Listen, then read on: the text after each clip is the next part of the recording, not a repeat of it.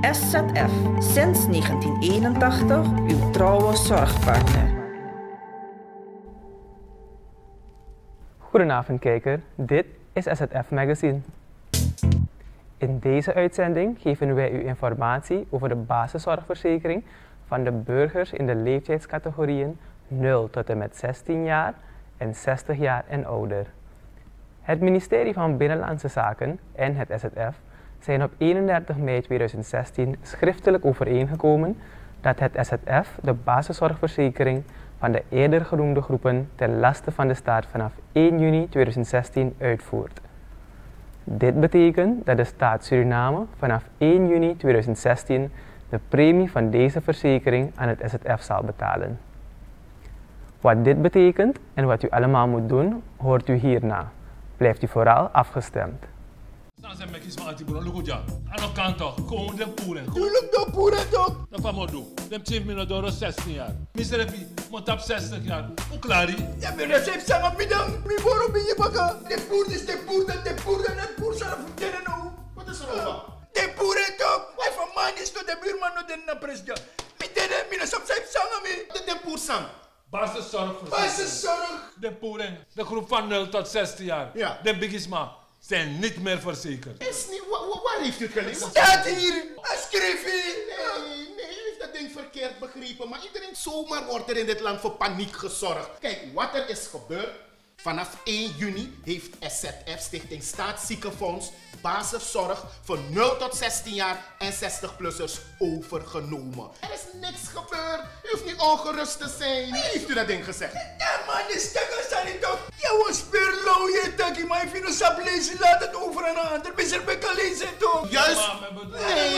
Nu SZF dat ding overneemt, gaat het juist beter. Want wat SZF verdient, gaat terug in de gezondheidszorg. Dat maakt me niet one fee code, jongen. Ah, Het was aan de ZZF. SZF heeft het overgenomen. Man. Heeft u nog vragen over uw basiszorgverzekering? Bel het Staatsziekenfonds op 477-101 en 427-714. SZF, Gis Ibriwan, naar Ini Sarananga. Welkom terug. Vanaf afgelopen woensdag 1 juni 2016 is de Stichting Staatsziekenfonds door de staat belast met de uitvoering van de basiszorgverzekering voor de groepen 0 tot en met 16 jaar en 60 plus. Mevrouw Kappel is hoofd van de verzekerenregistratie bij het SZF. Welkom mevrouw Kappel. Goeiedag. Mevrouw Kappel, moeten de mensen in de leeftijdscategorie 0 tot en met 16 jaar en 60 plus, die reeds verzekerd zijn, iets doen om hun verzekering te behouden, nu daar het SZF belast is hiermee? Nou, de verzekerden hoeven niets extra te doen. Ze kunnen, precies zoals ze gewend zijn, hun huisarts bezoeken. Indien ze reeds een afspraak hebben met een specialist, kunnen zij ook volgens die afspraak normaal naar de specialist gaan. Het ministerie van Binnenlandse Zaken heeft duidelijk bekendgemaakt dat deze groepen zich tot nader bericht met hun huidige verzekeringsbewijs en vooral legitimatiebewijs kunnen aanmelden bij de dienstverleners. Dank u.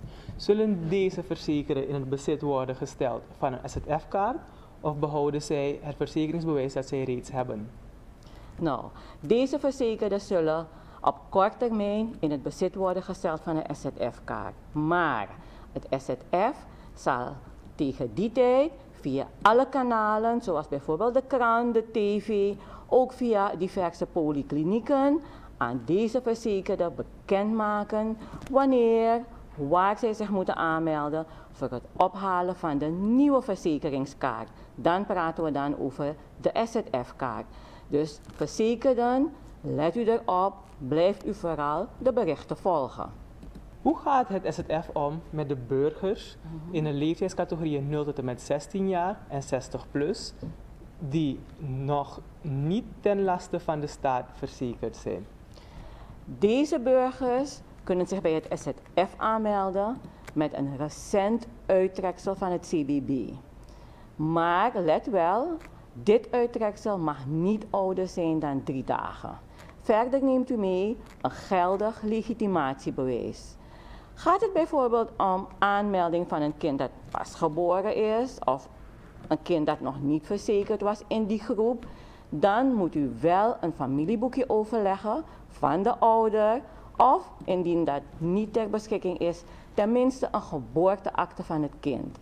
En de ouder die het kind komt aanmelden, dient daarnaast ook een geldig legitimatiebewijs te overleggen. Oké. Hoe speelt het SZF, het SZF in op de rechthebbenden die voor 1 juni 2016 reeds een verwijsbrief of garantiebrief hadden ontvangen? Bijvoorbeeld een recept, maar nu pas daarvan gebruik gaan maken. Nou, laat me u geruststellen. Met alle dienstverleners is afgesproken dat ze een, uh, zij die reeds in het bezit zijn van zo'n verwijsbrief of een garantiebrief of een recept zoals u dat noemt. En het is voor 1 juni afgegeven door die huisarts of die behandelende specialist. Mag men normaal gebruik maken hiervan. Belangrijk is dat de kosten vanaf 1 juni 2016 voor rekening zijn van het SZF.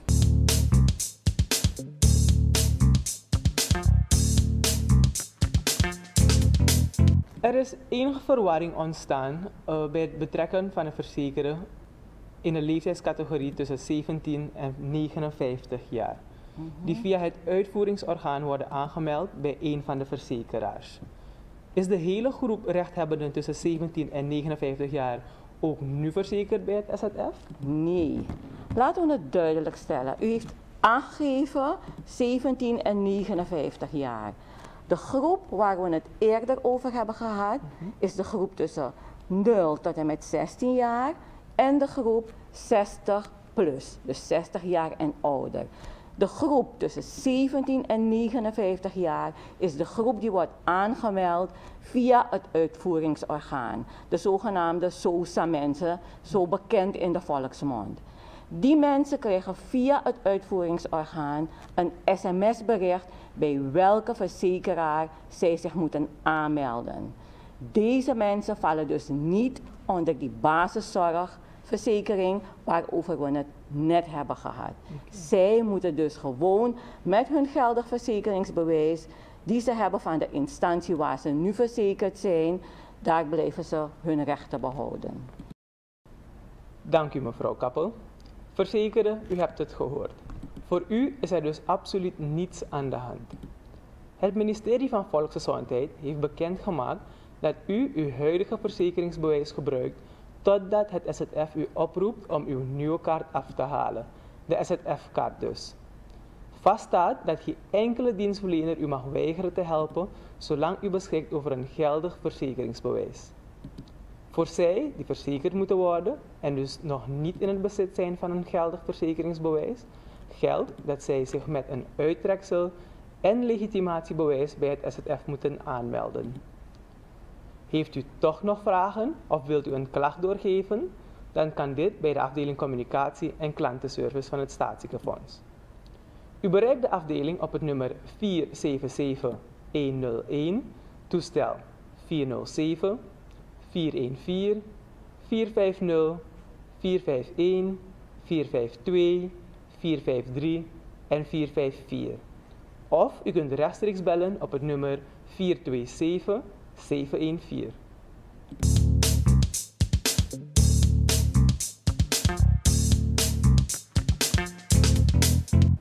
Op woensdag 8 juni 2016 organiseerde de Stichting Staatsziekenfonds een informatiebijeenkomst voor de afdelingen personeelszaken en HRM van de ministeries en parastatale bedrijven. Het SZF streeft er voortdurend naar haar, dienstverlening te optimaliseren.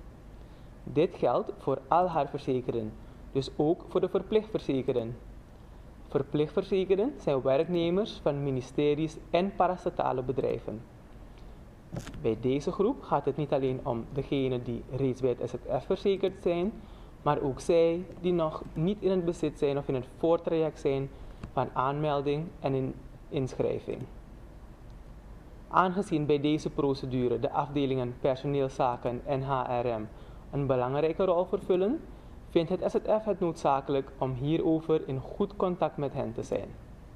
In dit kader heeft het SZF al enkele keren een informatiebijeenkomst gehouden voor de personeelschefs en andere verantwoordelijke functionarissen van de eerder genoemde afdelingen. De bijeenkomst heeft een tweeledig doel. Het SZF voedt de PZ en HRM-chefs en hun medewerkers met de relevante informatie, zodat zij de aanmelding van hun werknemers vlotter kunnen doen plaatsvinden. Dit betekent minder loperij voor de aspirantverzekerden. De PZ en HRM-afdelingen op hun beurt geven het SZF informatie over eventuele problemen en knelpunten die zij in de praktijk tegenkomen. De informatiebijeenkomst vindt plaats op woensdag 8 juni 2016 en wel van 8 uur s morgens tot half 1 s middags.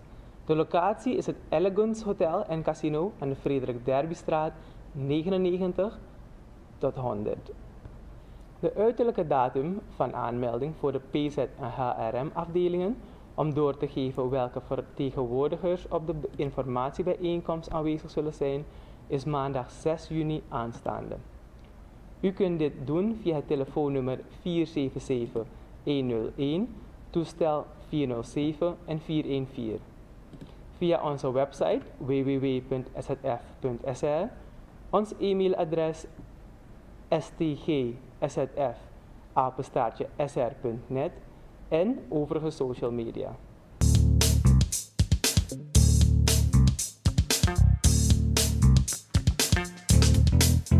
Houdt u de wachtdienstregeling voor dit weekend in de gaten? 148, de dagbladen, radio, SZF-website en Facebookpagina. Een public service van de Stichting Staatsziekenfonds. Dat was SZF Magazine. Een fijn weekend en tot de volgende week.